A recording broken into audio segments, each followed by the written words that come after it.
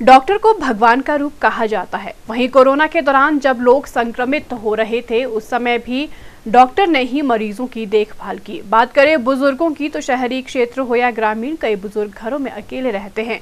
बच्चे बाहरी राज्यों में या विदेश में रहते हैं। ऐसी स्थिति में बुज़ुर्गों की खैर खबर अब हेल्थ स्टाफ लेगा। ये पहल बीएमओ त्यारा डॉक्टर संजय भारद्वाज, जो कि नगरोटा बगवा व कांगड़ा का अतिरिक्त कार्यभार देख रहे हैं, उनके द्वारा की गई है।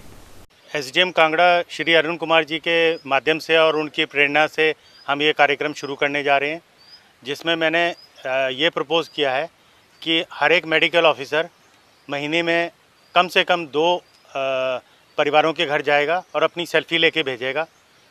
उसके अलावा हेल्थ सुपरवाइज़र दो घर विज़िट करेंगे, कम्युनिटी हेल्थ ऑफिसर दो हेल्थ करे परिवारों को विज़िट करेगा ये उन लोगों के लिए कार्यक्रम है, जो लोग चलने फिर, फिरने में असमर्थ हैं और या किसी बीमारी, गंभीर बीमारी से पीड़ित हैं।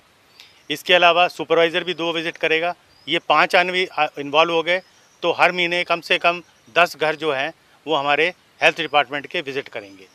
इसका बेसिक फ़ायदा ये है कि एक तो लोगों से इंट्रैक्शन हो जाएगा और जो लोग चलने फिरने में असमर्थ हैं, अक्षम हैं और जिनको ये ज़रूरत है, उनको हम ये सहायता प्रोवाइड कर सकें इसमें हम उन लोगों का ब्लड प्रेशर देखेंगे हीमोग्लोबिन देखेंगे, उनको ब्लड प्रेशर डायबिटीज़ की बीमारियाँ हैं, वो ऑन द स्पॉट दी जाएँगी और उनको रेफरल जो है, वो जो, जिस भी मेडिकल ऑफिसर या हायर इंस्टीट्यूशन के पास उसको भेजना है, वो हम भेजने में उनको बताएँगे।